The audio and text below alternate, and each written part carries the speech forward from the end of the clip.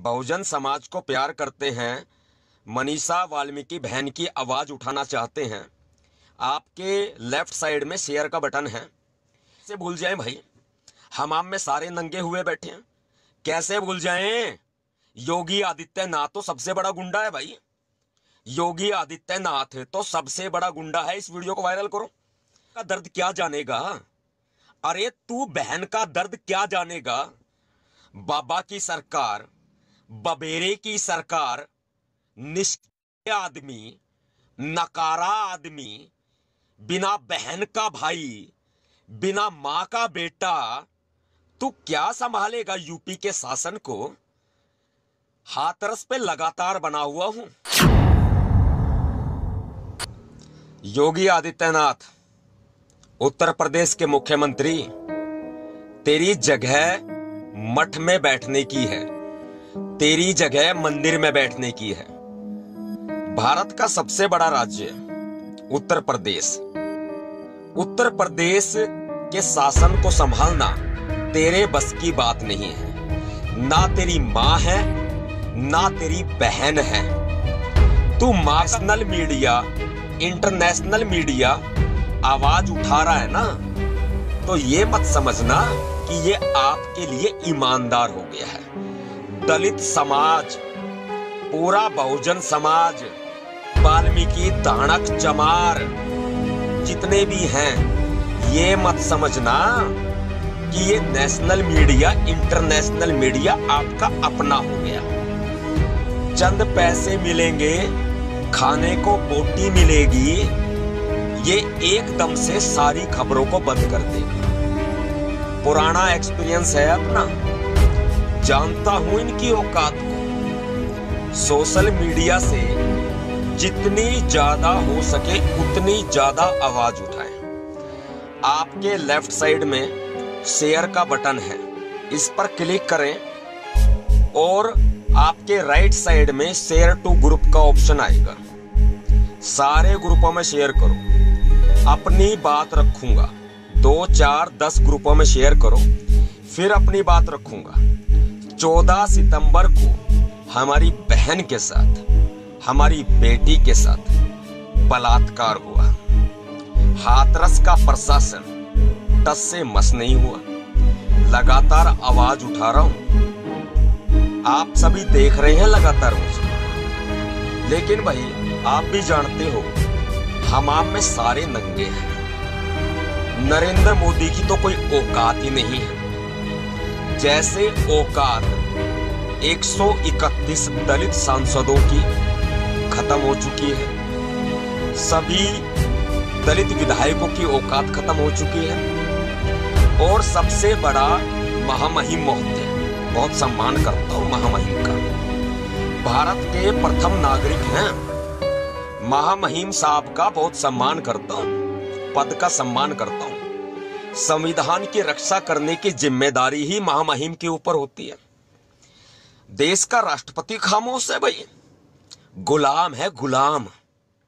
गुलाम है तो कुत्ते तो राज करेंगे ना। तभी तो ये कुत्ते राज कर रहे हैं। योगी आदित्यनाथ की क्या औकात? क्या औकात जो हमारी बहन को न्याय ना दिला पाए? सबसे बड़ी बात है, लगातार आवाज़ उठा रहा हूँ। भाई, शेयर करो, पहले ही बोला है। पहले ही बोला है आपके भैया जी नवाब सतपाल तंवर ने। आपके लेफ़्ट साइड में शेयर का ऑप्शन बना हुआ है।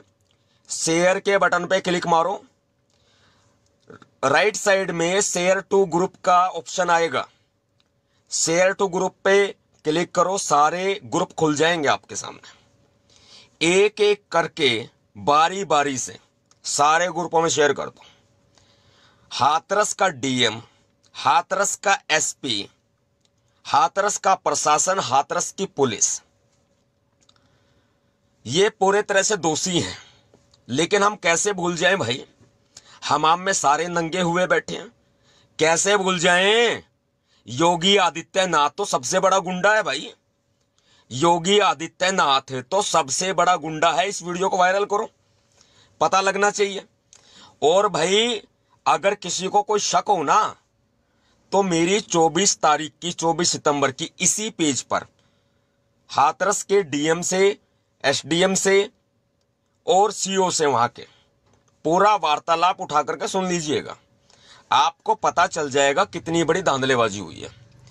चाहे दिल्ली में, चाहे पूरे देश में कितनी ही बड़ी ड्रामेबाजी हो रही हो, मुझे उससे मतलब नहीं है। मुझे अपनी बेटी से मतलब है। मुझे अपनी बहन से मतलब है। जब मैं उस बहन से मिला ना अस्पताल के अंदर। जब मैं उस बहन से अलीगढ़ के अस्पताल में जब मैं मिला, बड़ी बड़ी बात बता रहा हूँ आपको मैं। आपका दिल जो है ना पसीज उठेगा, रुदन होगा आपके दिल में, क्रोध होगा आपके जहन में। शेयर करो इस वीडियो को, सबको बताओ सबको बताओ, बताना बहुत ज़रूरी है। जितने साथी जुड़ रहे हैं, सुनने से कुछ नहीं होगा भाई। अगर बहन को सही में न्याय दिलाना चाहते हो ना तो सुनने के साथ दूसरों को बताओ। शेयर करो, सभी ग्रुपों में शेयर करो, पता लगना चाहिए। जब अलीगढ़ के अस्पताल में मैं अपनी बहन से मिला ना, उसकी ज़ुबान से बोला नहीं जा रहा था। उसकी जीभ को, उन कुत्तों ने, उन दरिंदों ने, उन बलात्कारियों ने अपने दांतों से कुचला है। तब उसकी जीभ काटी गई है। रीढ़ की हड्डी मैंने खुद देखी अपनी बहन की। तोड़ रखी थी। शरीर से उसके पलटा नहीं जा रहा था, करवटें नहीं ली जा रही थी। बड़ी मुश्किल से अपनी बहन को मैंने ढाढ़स बंधाया, अपनी बहन को मैंने हौसला बंधाया और जब मैंने महसूस किया इस दर्द को, पूरे देश को बताया 24 सितंबर को हाथरस कलेक्ट्रेट पर प्रदर्शन का ऐलान किया गया, प्रदर्शन किया गया। डीएम की औकात भीमसेना प्रमुख नवाब सतपाल तंवर के सामने आ सके। सामने नहीं आया। एसडीएम को भेजा, वहाँ के सीओ को भेजा। डीएम सामने से निकल गया। 24 तारीख की वीडियो उठा कर उठा करके देख लीजिए इसी पेज पर। सामने से निकल गया ये डीएम। बात करने की तवज्जो नहीं रखी। आज डीएम पहले चार लाख का मुआवजा घोषित किया, हमारी बहन की लाश की बोली लगाई। जब हम बहन की लाश की जो बोली लगा रहे हैं ना ये लोग, बहन की जान की भीख मांग रहे थे इनके सामने, हाथरस कलेक्ट्रेट के सामने खड़े होकर के, उस समय डीएम ने हमारी भीख को भी नजरअंदाज कर दिया। न्याय की आवाज़ पूरा देश उठा रहा है आज।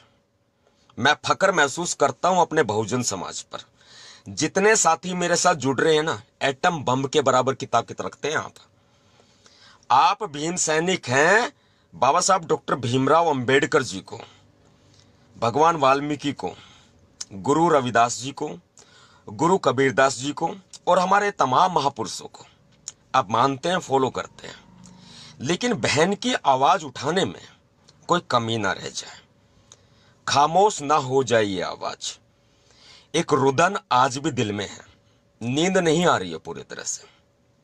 नींद नहीं आ रही है बार बार वो बहन आकर के पुकारती है कि भाई मुझे न्याय दिलाओ। मैंने करीब से महसूस किया है। इस केस को मैंने बारीकी से अध्ययन किया इस केस का, बारीकी से मैंने इस केस को देखा। चौदह सितंबर से लगातार आवाज़ उठा रहे हैं। हमारे हाथरस के साथी हैं। सबसे पहले एक पत्रकार साथी हैं मेरे भाई। उनको मैं सल्यूट करता हूँ और हाथरस के तमाम साथी, हमारी कुछ महिला, हमारी बहनें भी हैं जिन्होंने इस आवाज़ को उठाया। मैं नाम लेना उचित नहीं समझूँगा क्योंकि बहुत सारे साथी देख रहे हैं। मैं नाम लेना उचित नहीं समझूँगा। बस ये समझ लीजिएगा कि मैंने भीम सैनिकों को तवज्जो रखते हुए, अपने भीम सैनिकों को तवज्जो रखते हुए मैंने इन बहन, इस बहन की आवाज़ उठाने के लिए आपका हौसला अफजाई किया और ज़्यादा से ज़्यादा आवाज़ उठाई। पुलिस से नहीं डरने की ज़रूरत है। पुलिस से डरना नहीं है। वहाँ के यूपी के ए एडीजीपी जो हैं, वो प्रेस कॉन्फ्रेंस करके हमें धमका रहे हैं। असामाजिक तत्व हमें बता रहे हैं। और ये भी कहते हैं कि विधिक कार्रवाई की जाएगी। भाई मुझे गोली मार दे। यूपी पुलिस मुझे गोली मार दे। यूपी पुलिस मेरे ऊपर कितने ही मुकदमे करते हम डरने वाले नहीं।